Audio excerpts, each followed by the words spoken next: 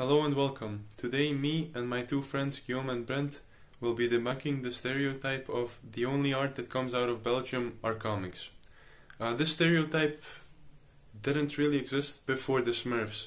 The Smurfs are really the, the biggest comic from Belgium and they're well known everywhere around the world.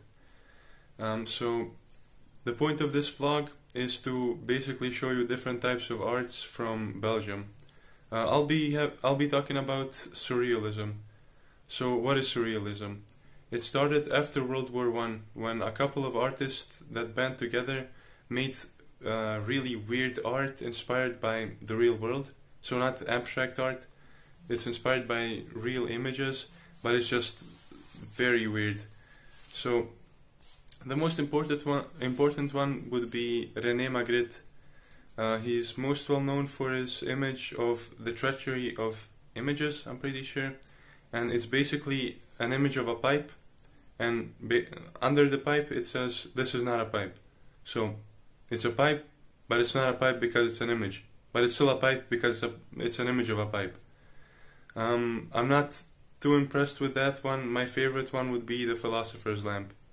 Uh, I'll be handing it over to the to the other two to tell you about other forms of art. Thank you. Hello and welcome. Today I will be talking about Victor Servranckx. Victor Servranckx was a pioneer of the abstract art genre in Belgium. Abstract art is a very niche art style which I myself don't particularly enjoy that much, that doesn't really try to get an accurate depiction of reality, but instead tries to use shapes, lines, colors, and gestures to achieve its effects. In his early years, Victor uh, made a career for himself by making abstract sculptures, and he even had a job as an architect, but he quickly changed to painting. Victor is most well known for his Opus series, which is a series of drawings which really utilizes almost every aspect of the art style. Like I mentioned before, I'm not really a fan of the art style myself, but there was one that stood out the most, and that is Opus 47. It's just something about the the colors and the shapes used that makes it stand out from the rest. So that was it for me, and I will pass it over to Guillaume. Hello everyone, I'm going to speak about a really known artist from Belgium.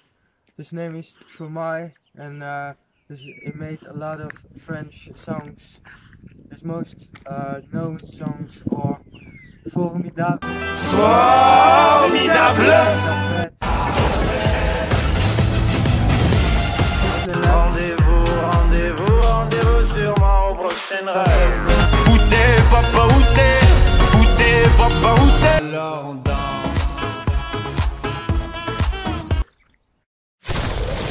is a rapper, a songwriter and a singer. His real name is Paul van Haver and he also has his brand called Mosaert. He also collaborates with famous artists like Kanye West, Billie Eilish and uh, Coldplay. Now the question for you is which pop singer is well known in your country but not so well known in our country. Looking forward to see your vlog. Au revoir.